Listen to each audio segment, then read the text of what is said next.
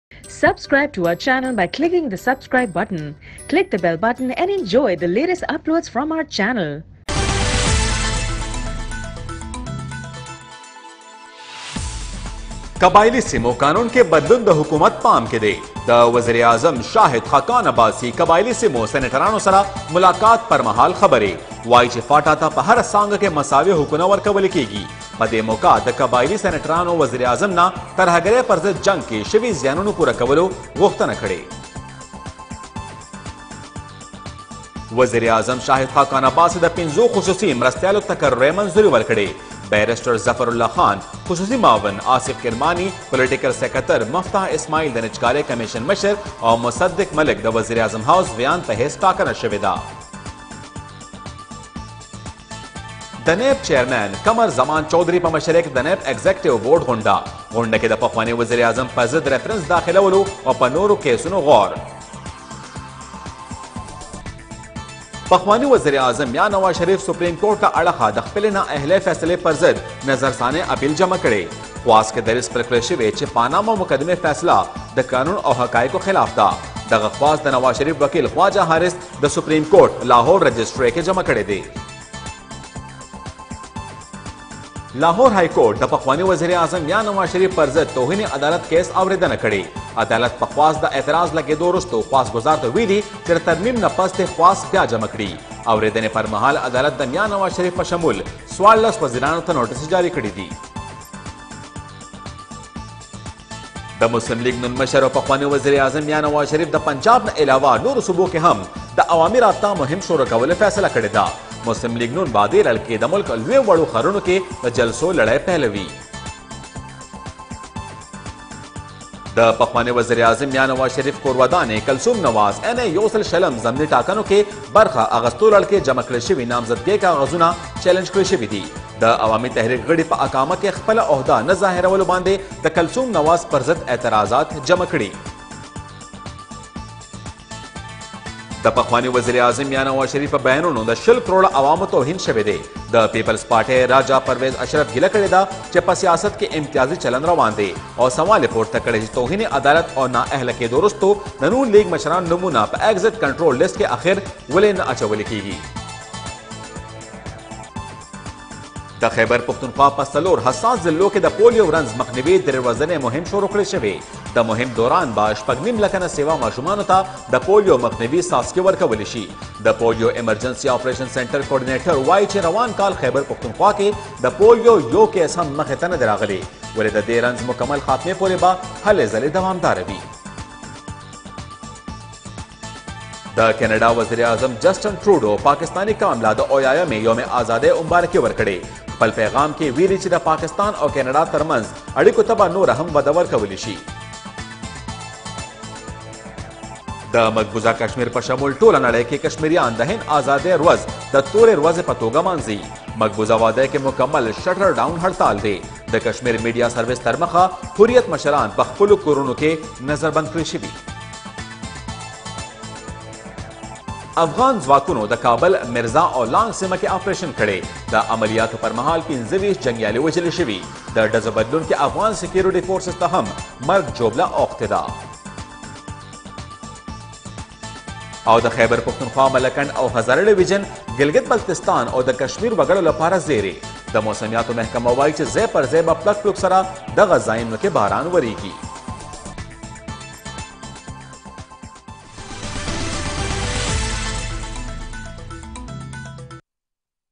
د مهمو خبرونو سر ټکونه تاسو خبر شوي بلټن په شورو کې به تاسو خبره او د وزیر اعظم شاید خاقان عباسي په مشرۍ کې د وفاقي کابینې غونډه روانه ده په اجلاس کې په کومو معاملو باندې غور کیږي په دې اړه به تفصیل راکوي زموږ همکار اشفاق بنګش اشفاق بنګش نون لیګ ریلی سر ته ورسېده هغې نه پس د وفاقي کابینې غونډه ده شاید خاقان عباس یې وزیر اعظم په مشرۍ کې څه هلې ځلې پکې روانې دي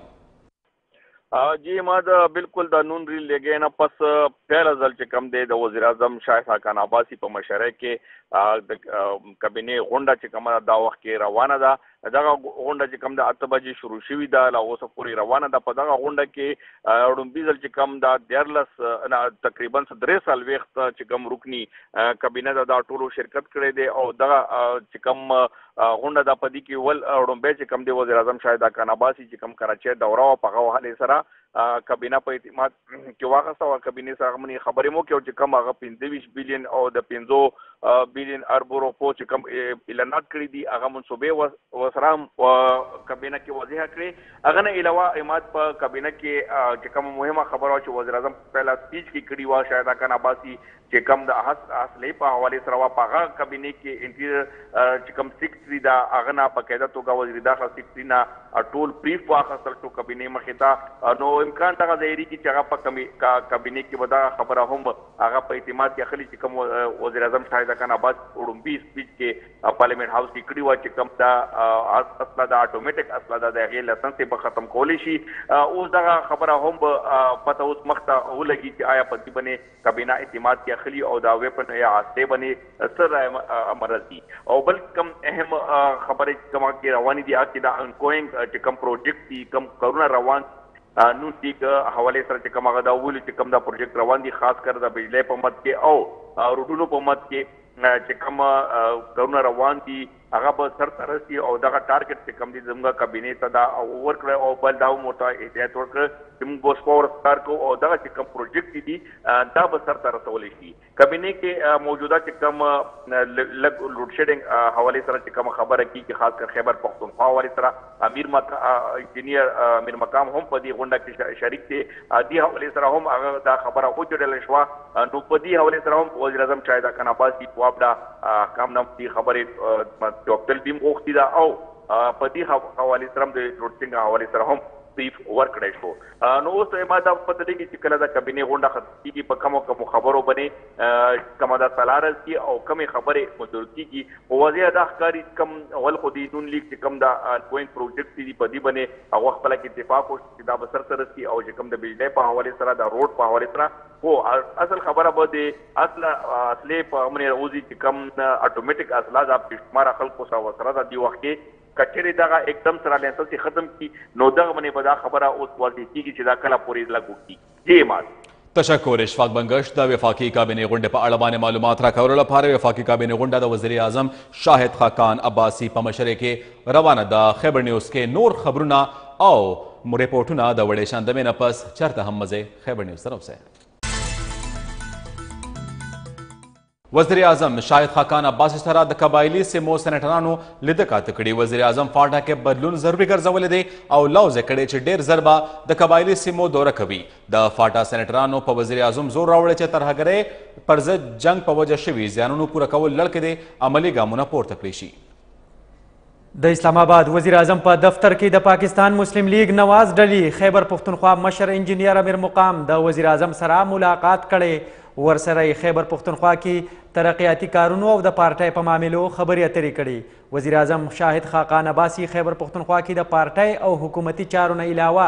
ترقیاتی کارونو په اړه د انجینر امیر مقام د کردار ستاینه وکړه ملاقات په خوشګوار ماحول کې شوی او امیر مقام د خیبر پښتونخوا د ترقۍ او پرمختګ لپاره د وزیراعظم خصوصي توجه ورکولو مننه کړې هم په دغه ورځ د قبایلي سیمې سره تعلق لرونکي سنیټرانو د وزیراعظم شاهد خاقان عباسي سره لیده کاته کړې او ورسره یې فاټا کې اصلاحاتو او ترقیاتي کارونو په اړه خبرې کړې د فاټا سېنېټرانو رواج اېکټ مسترد کړی، په وزیراعظم شاهد خاقان عباسي د اېف سي ار سمدستي ختمولو او قبایلي سیمو ته د پاکستان ائین غځولو لپاره زور راوړی، د سېنېټر هدایت الله خان په مشرۍ کې د فاټا سره تعلق لرونکي سېنېټرانو اووه کسیزه وفد په اسلام اباد کې د وزیراعظم شاهد خاقان عباسي سره په ملاقات کې د فاټا په اصلاحاتو او په نورو چارو تفصیلي خبرې شوي. په دې موقع قبایلي سنیټرانو په شریکه فاټانه د اف سي آر فیل فور ختمولو او په دغه ځای کې د پاکستان آئین او قانون مکمل عملي کولو مطالبه کړې.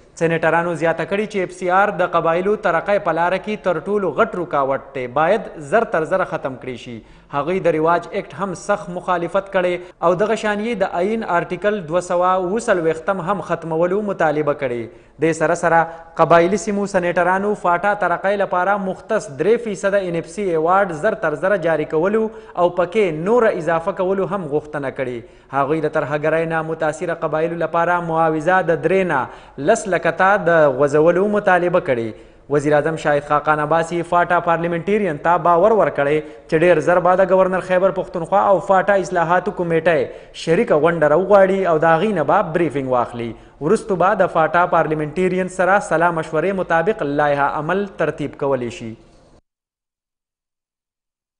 وزیر اعظم شایق خاقان عباس سي د خپل پنځو خصوصي مرستیالو ټاکنه کړې ده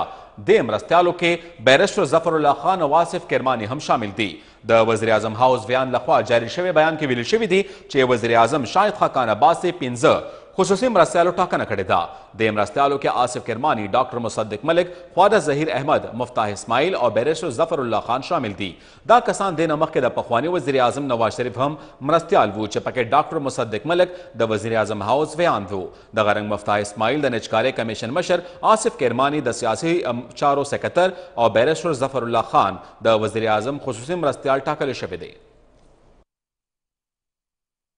د میا نواز شریف په مشرۍ کې نون لیګ مشاورتي غونډه دې دوران د ملک سیاسي حالاتو او ان ای یو سل شلم ضمني الیکشن په اړه سلاګانې شوې دي. د ریلوې وفاقي وزیر خواجه سعد رفیق ویلي دي چې نواز شریف ولسي رابطه مهم جاري ساتلو فیصله کړې ده د لاهور جاتي عمره کې شوې مشاورتي غونډه کې د پنجاب وزیر اعلی شهباز شریف خارجه وزیر خواجه محمد آصف د قومي اسمبلۍ سپیکر سردار ایاز صادق حمزه شهباز پرویز رشید او رانا ثناءالله نه علاوه د پارټۍ نور مرکزي او صوبایي مشرانو ګډون کړی دی دې دوران د لاهور اېن اې یو سل شلم ضمني ټاکنو مهم په اړه مهمې فیصلې وشوې او د پارټۍ امیدوارې کلثوم نواز د انتخابي مهم انتظامات د حمزه شهباز او د پارټۍ ځايي مشرانو ته سپارلو پرېکړه شوې. غونډې دوران نون لیګ موجوده تحریک جاري ساتلو باندې سلا شوې او ملتان کې جلسه کولو فیصله هم شوې ده. د غونډې نه پس میډیا سره خبرو اترو پر وخت د ریلوې وفاقي وزیر خواجه سعد رفیق ویلي دي چې میا نواز شریف د ولسي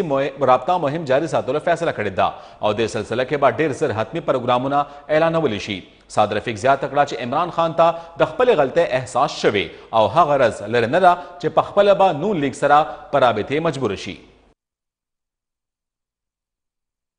پخوانی وزیر اعظم میا نواز شریف سپریم کورټ له اړخه د خپل نااهلې فیصلې خلاف نظرثانه اپیل جمع کړي خواست کې د ریسک پرکړې شوې چې پاناما مقدمه کې اورول شوې عدالتي فیصله د قانون او حقایقو خلاف ده د نواز شریف وکیل خواجه حارث لخوا سپریم کورټ لاهور رجسټري کې درې مختلف اپیلونه جمع کړي شوي دي خواست کې ویل شوي چې ستر عدالت له خوا د جولای په اته ویشتمه نېټه پاناما مقدمه کې نواز شریف ته اورول شوې سزا په فیصله کې حقایق په مکمله توګه نظرانداز کړل شوي دي خواست کې دا هم ویل شوي دي چې پخوانی وزیر اعظم په کوم بنیاد نااهل ګرځول شوی او هغه د نامزدګۍ په کاغذونو کې ظاهر کړل شوي دي باید چې سپریم کورټ په خپله فیصله نظرثاني وکړي درخواست کې د اعلی عدالت نه غوښتنه هم شوې چې د نواز شریف پر ضد د عمران خان، سراج الحق او شیخ رشید جمع کړي شوي خواستونه دې رد کړي شي. د غرنګ د نواز شریف وکیل دا خواست هم جمع کړی چې تر څو نظرثانه اپیلونو فیصله نه وي شوې تر هغې دې د سپریم کورټ د پنځه کسیزه بینچ فیصله کالعدم وګرځول شي. لاهور های کورټ کې د پخوانی وزیر اعظم میا نواز شریف خلاف د توهین عدالت کیس اوریدنه شوې او عدالت درخواست گزار ته په درخواست کې د ترامیم کولو هدایات جاری کړي دي عدالت د نواز شریف په شمول سوارلس وزیرانو ته نوټس هم جاری کړي دي لاهور های کورټ کې د نواز شریف او وفاقي وزیرانو په ضد دایر شوی درخواست کې دریس خپل کړی شوی دی چې نواز شریف او وفاقي وزیرانو د پاناما فیصلې وروسته د ستر عدالت خلاف تقریرونه کړي او هغوی د غدارۍ مرتکب شوي دي عدالت دې د نواز شریف په شمول د وفاقي وزیرانو خلاف کارروایي وکړي ابتدایي سماعت وروسته عدالت د درخواست په قابل سماعت ګرځولو اعتراض کړی او درخواست ګزار ته په درخواست کې د ترامیم کولو هدایات جاری کړي دي عدالت د نواز شریف په شمول آصف کرمانی اسحاق ډار مریم اورنګزیب او رانا ثنا الله په شمول سوارلس نور وزیرانو ته نوټس هم جاری کړي دي او هغوی ته عدالت کې د جواب جمع کولو حکم ورکړی دی بلخوا د عوامي تحریک لخوا د نواز شریف کورودانې او ان ای یو سل شلم لپاره د مسلم لیګ نون امیدواري کلثوم نواز کاغذات نامزدګي چیلنج کړی شوي او الیکشن کمیشن کې د هغې په ضد درخواست جمع کړی شوی دی میا نواز شریف کله هم ادارو سره تاو تریخوالی خبره نه ده کړې بلکې د خپل حق لپاره اواز پورته کړي د قامي اسمبلۍ سپیکر سردار ایاز صادق بیان وایي چې نواز شریف اوس هم زما زړه کې وزیر اعظم دی او ټول پاکستان د هغه په شا ولاړ دی. لاهور کې خبریالانو سره خبرو اترو پر وخت د قامي اسمبلۍ سپیکر سردار ایاز صادق وویل چې نواز شریف د پارټۍ مشرانو او د خلکو په غوښتنه په جي ټي روډ د لاهور سفر کړی او خلکو چې څنګ د هغه تود هرکلی کړی هغه هر چاته په ډاګه شوی دی. ایاز صادق مخکې وویل چې نواز شریف چرې هم ریاستي ادارو سره تاوتریخوالي خبره نه ده کړې او دا چې هغه حق لري چې د خپل حق لپاره اواز پورته کول لړکې د ملک هرې علاقې دوره وکړي د یوې پوښتنې په جواب کې سردار ایا صادق وویل چې څه کېدل هغه وشو اوس مخکې کتل پکار دي د لاهور ضلع انتظامیې نه پس لاهور هایکورټ هم د عوامي تحریک مال روډ باندې درنې ورکول نه منع کړې د انجمن تاجران له خوا لاهور های کورټ کې د عوامي تحریک درنې خلاف دایر شوي خواست کې دریځ خپل شوی چې عدالت مال روډ باندې د درنو نه کولو هدایت کړی دی. خواست ګزار وویل چې مال روډ باندې درنو او احتجاج پر وخت د ترهګرۍ اندیښنې دي او دا چې طاهر القادري دی دغه درنې نه منع کړی شي. سرکاري وکیل عدالت ته وویل چې مال روډ باندې دفعه یو سل څلور څلوېښت لګول شوې نو ځکه دې عوامي تحریک په هر حال د درنې ورکولو نه منع کړی شي. عدالت سرکاري وکیل ته امر وکړو چې درنې په حواله دې د عوامي تحریک د مشرانو دریځ نه ځان خبر کړي او بیا دې عدالت کې جواب جمع کړي. دې نړواندې د لاهور ضلعي انتظامیې هم عوامي تحریک ته مال روډ باندې درنې ورکولو اجازت نه و ورکړی.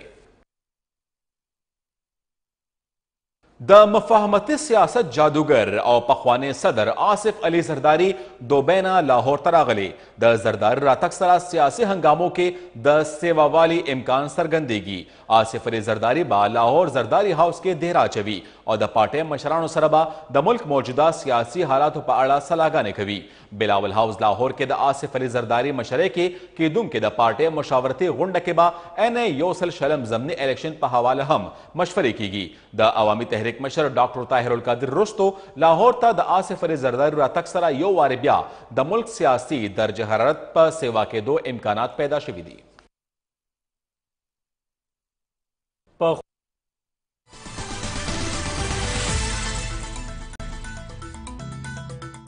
په خوانی وزیر اعظم راجا پرویز اشرف ویلي دي چې نواز شریف د ادارو سپکاوی کړي د هغوی په ضد نیب کې ریفرنس دی نو پکار ده چې د هغه نوم په ای سی ایل کې واچول شي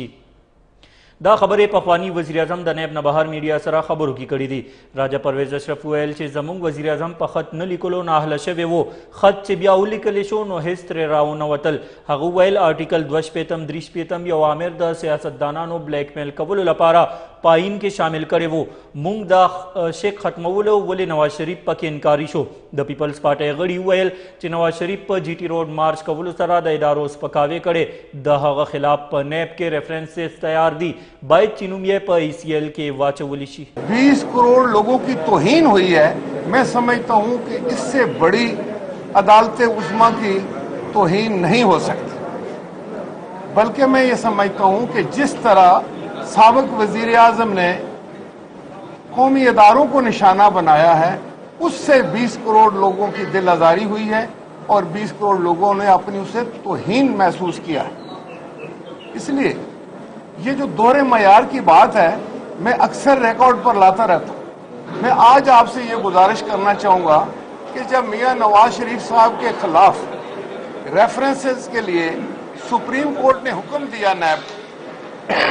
تو نیب نے ان کو ای سی ایل کے اوپر ایگزٹ کنٹرول لسٹ کے اوپر نہیں ڈالا بلکہ اس کے بارے میں کچھ درخواستیں بھی گئیں اس کے باوجود وزارت داخلہ نے کسی قسم کا ایکشن ان کے خلاف نہیں لیا الیکشن کمیشن اف پاکستان سیاسي جماعتونو ته هدایت کړی چې د اګست یو کم دیرشمې نیټې پورې دی د خپلو اساسو تفصیلات جمع کړي او کمې سیاسي پارټۍ چې داسې ونه کړل هغوی ته به انتخاباتو کې د برخې اغستو اجازت نشي ورکولی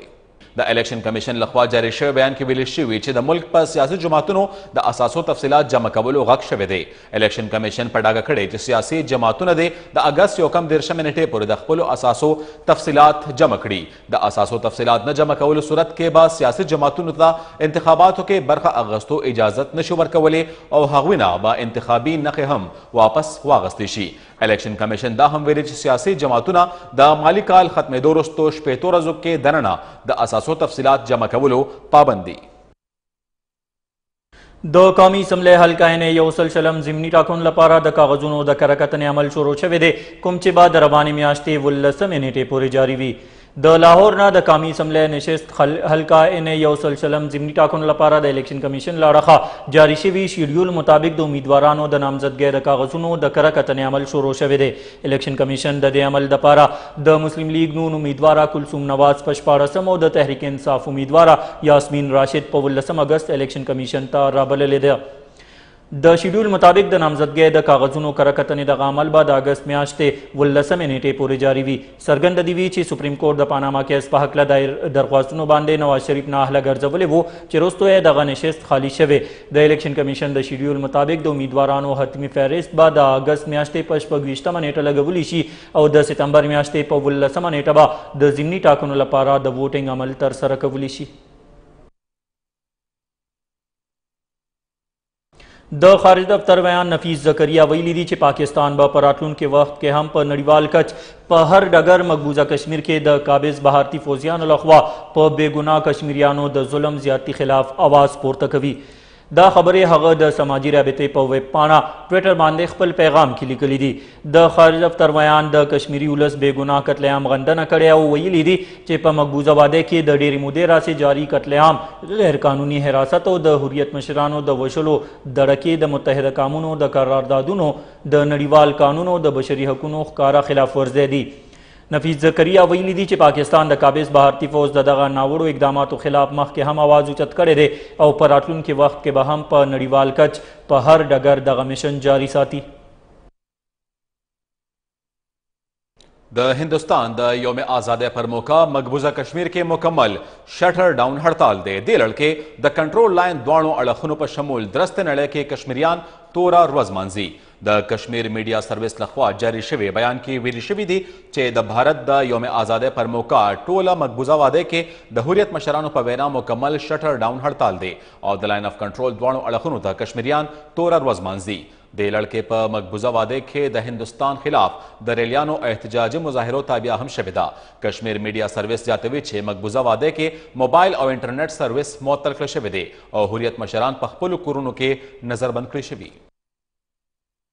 د پاکستان او هند آزادۍ ورځو په مناسبت په واګا بارډر د دوانو هیوادونو ځواکونو یو بل ته د مټایانو ورکولو روایت برقرار ساتلی دی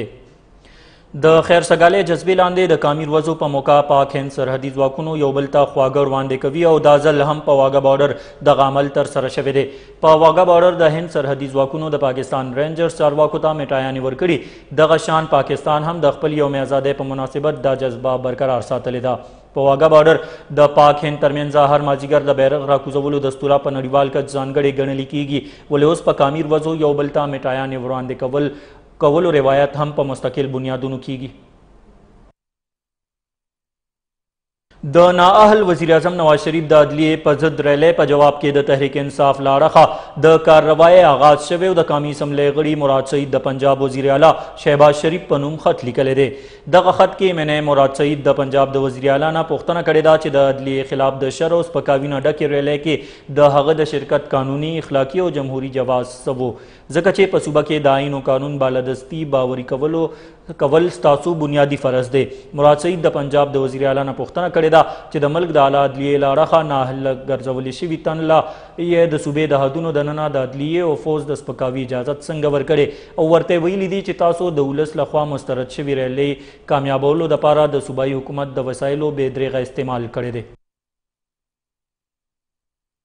د آل پاکستان مسلم لیګ مشر پرویز مشرف کارکنانو لا په کراچۍ او فیصل آباد کې په کامیابو جلسو باندې مبارکي ورکړې ویلي دي چې د پارټۍ ستر سیکتر د څلور واړو صوبو صدران او د پارټۍ مرکزي دفتر په خپل خپل ځای بحال دي ځینې کسانو ځان نه په خپله صدران جوړ کړي د هغوی د پارټۍ رکنیت هم ختم کړی شوی دی د ای پی ایم ایل چیئرمین جنرال ریټایر پرویز مشرف په خپل ویډیو پیغام کې کراچۍ او فیصل آباد کې کامیابو جلسو کولو باندې د پارټۍ ستر سیکرتر ډاکټر محمد امجد او کارکنانو له مبارکۍ ورکړي پرویز مشرف ویلي چې د آل پاکستان مسلم لیګ سیاسي جماعتونو سره اتحاد د ملک دریم سیاسي طاقت ثابتېږي او دا چې له ځینې فسادیانو نه دا خبره نه هضمیږي. پرویز مشرف په ویډیو بیان کې په ډاګه کړې چې د پارټۍ ستر سکرتر او د څلور واړو صوبو صدران په خپل ځای بحال دي. ځینې کسانو په خپله د ځان نه صدران جوړ کړي دي او ځان له دفترې پرانستي خو د پارټۍ ټول کارکنان دې پام کې ساتي چې د پارټۍ اسلام اباد کې مرکزي دفتر په خپل ځای موجود دی.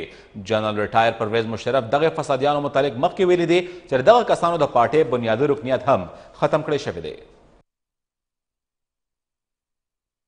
د خیبر ایجنسۍ باړه سیمه کې د کامیابې کاروای دوران بارودي سورنګونه خورولو کې ککړ د ترهګرو نټورک نیول شوی دی د پاک فوج ویاند ادارې آی ایس پی آر وینا تر مخه سکیورټي فورسز د خیبر ایجنسۍ باړه سیمه کې عملیات کړي دي دغه کاروايي خفیه اطلاع باندې شوې چې پکې بارودي سرنګونه خپرولو کې ککړ د ترهګرو نېټ ورک نیول شوی دی. نیول شوي ترهګر نامعلومه ځای ته رسول شوي دي او هغوی نه په پلټنو لاس پورې کړی شوی دی.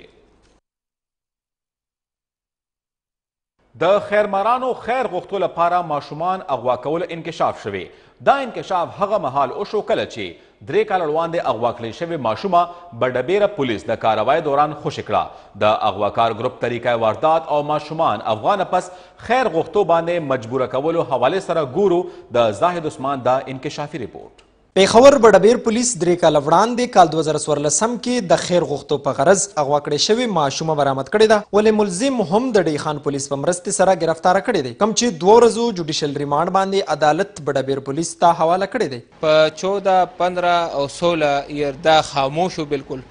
دوه زره ستره اوس ریسنټلی یو هفته مخکې د ډي خان پولیس تانا صدر هغې سچو چونکې په فیسبوک باندې ماشومې تصویر شایع کو د هغې په ذریعه مونږ دې ته ورسېدو موږ ډېر بې حد خوشحال یو او د دې ماشومې د وجې نه موږ ته ډېر غټ دوک رسېدلی دی تقریبا درې درې نیم کاله څه کوم دی دا یې لاپته وه نو اوس الحمدلله دا پیدا شوله مو ډیر خوشحال یو د دې پولیس په وسیتې سره. ما کر ته سبزی وړله بې زه تول څاله روسه بې پټه کړه. ملزم وینا تر مخه هغوی ماشومه پیښور یو مقامی هوټل نه بوتلې وه او مختلف ښارونو کې ورباندې د خیر غوښتو کار کو. و دلته چندې ته راغلی وم بې دا په لار کې ولاړه وه نو مې روانه کړه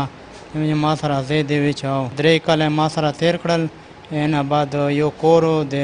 نظیم کور و اخته مې ورلږلې وه وی هغه نه بعد په بله تمبه وتلی ده به خلقه شوی ده. دې نه علاوه به ډبیر پولیس یو جیب تراش ګرفتار کړی دی، ملزم نه لوټلی شوی مال هم برامد شوی دی. پولیس وینا تر مخه جیب تراش دې نه مخکې هم په دسې قسمه جرمونو کې پولیس ته مطلوب و. کیمره مین عبدالرحمن سره زاهد عثمان خیبر نیوز پېښور. د کراچۍ منګو پیر سیمه کې وجلي شوي دوو ترهګرو پیژنګلو شوې پولیس وایي چې د وجلي شوي ترهګر جبار او دانیال تعلق کلدم تنظیم سره دی څوک چې په یو شمیر وارداتونو کې ککړ وو د کراچۍ منګو پیر سیمه کې سکیورټي ادارو سره مقابله په وخت وجلي شوي دوو ترهګرو پیژنګلو شوې ده ایس ایس پی سی ټي ډي عمر شاهد ویلي دي چې د ترهګر جبار او دانیال تعلق کلدم تنظیم سره دی څوک چې په سکیورټي ادارو حملو په شمول په نورو یو شمېر وارداتونو کې ککړ وو پولیس دا هم ویلي دي چې د وژل شوي ترهګرو د ولکې نه بارودي مواد او وسله ترلاسه شوې ده د پنجاب حکومت او ینګ ډاکټرز ترمنځ مذاکرات کامیاب شوي دي چې وروسته یې ډاکټرانو د لاهور مختلف هسپتالونو ایمرجنسي او آوټډور کې خپلې ذمواریانې سمبال کړي دي د پنځلس ورځو هړتال نه پس د محکمه صحت پنجاب او ینګ ډاکټرز اسوسییشن غړو ترمنځ مذاکرات کامیاب شوي دي د محکمه صحت چارواکو ینګ ډاکټرز اسوسییشن له د اډهاک ډاکټرانو مستقل تعیناتي او د برطرف ډاکټرانو بیا بحاله باور ورکړی دی دغه رنګ په سنټرل انډکشن پالیسي او د پنجاب ټول میډیکل کالجز کې اکیډمیک کونسل باندې د نظرثانې یقین دهانې سره سره تنخواګانو کې د لس فیصده اضافه باور هم ورکړی شوی دی مذاکرات کامیابېدو وروسته ینګ ډاکټرز اسوسییشن د پنځلس ورځو راهیسې روان هړتال ختمولو اعلان کړی او د لاهور مختلف هسپتالونو ایمرجنسي او آوټ ډور کې یې خپلې ذمهواریانې سمبال کړې دي. د جناح رفی فاونډیشن مشر او د جنګ آزادۍ عظیم مبارز د رفی بټ زوی او نامتو صنعتکار امتیاز رفی بټ د خپل پلار د مبارزې او جنګ آزادي کیسه د کتاب ایټ کایت سرویس په شکل کې راغونډه کړې د دغه کتاب حوالې سره لاهور یو نجي هوټل کې دستوره تر سره شوې ده د کتاب مخکتنې پر موقع د کتاب مصنف امتیاز رفیع بټ په شمول نامتو تجزیه کارانو مجیب الرحمن شامی حسن عسکری او یو شمیر سماجی او سیاسي شخصیاتو ګډون وکړو د دستورې ګډونوالو د کتاب په اړه رڼا واچوله او د امتیاز رفیع او رفیع بټ مرحوم مبارزې ته خراج تحسین وړاندې کړو دستوريتاو وينا پر وخت امتياز رفيع بټ د کتاب مخکتنې پر موقع د خپل ژوند د نرمو او ګرمو په اړه تفصيلي خبرې هم وکړې او د خپل پلار رفيع بټ او قائد اعظم محمد علي جناح لخوا د پاکستان آزادۍ لپاره شوي کوششونو او مبارزه باندې رڼا واچوله دې دوران دستوره کې موجود نورو خلکو هم ويناګانې وکړې او وې ويل چې امتياز رفيع بټ د جنګ آزادۍ او ستر مبارز وو او هغه د پاکستان لپاره لازواله قربانۍ ورکړې دي کومې چې امتیاز رفیع بټ په خپل کتاب ایټ قائد سروس کې په تفصیل سره بیان کړي نېشنل بانک اف پاکستان د آزادۍ جشن ډیر په جوش او جذبې سره مانځلې ملک سره د مینې څرګندونه د نېشنل بانک چارواکو دستورې پر مهال د کیک کټ کولو د لارې کړې ده نېشنل بانک آف پاکستان خپل هډ آفیس کراچۍ کې د پاکستان او یایمې کلیزې پر مناسبت یوې لویې دستورې تابیا کړې وه دې دستوره کې د بانک اعلی چارواکو او ملازمانو په شمول په لویه شمېره کې عامو خلکو هم ګډون وکړو. دستوره کې که یو خوا فنکارانو په سټېج قامي نغمو په صورت کې پاکستان سره د خپلې مینې اظهار وکړو نو بل خوا په کې ماشومانو هم قامي بیرغونه او بیجونه لګولي وو. نېشنل بېنک اف پاکستان صدر سید احمد د پاکستان او یایمې کلیزې کېک کټ کولو نه پس دستورې ته خپلو خبرو کې سوال وکړو چې قائد اعظم محمد علي جناح، علامه محمد اقبال او دغه رنګ نور مشران چې پاکستان کوم مقصد لپاره جوړ کړی وو آیا موږ هغه مقصد ترلاسه کولو کې بریالي شوي یو او که نه سید احمد مخکې ویل چې د پاکستان د ازادۍ او خپلواکۍ لپاره چې څومره قربانۍ ورکړې شوې دي موږ له دغه قربانونو سبق اغستل پکار دی ځکه چې ازادي او لوی نعمت دی او پکار ده چې موږ یې قدر وکړو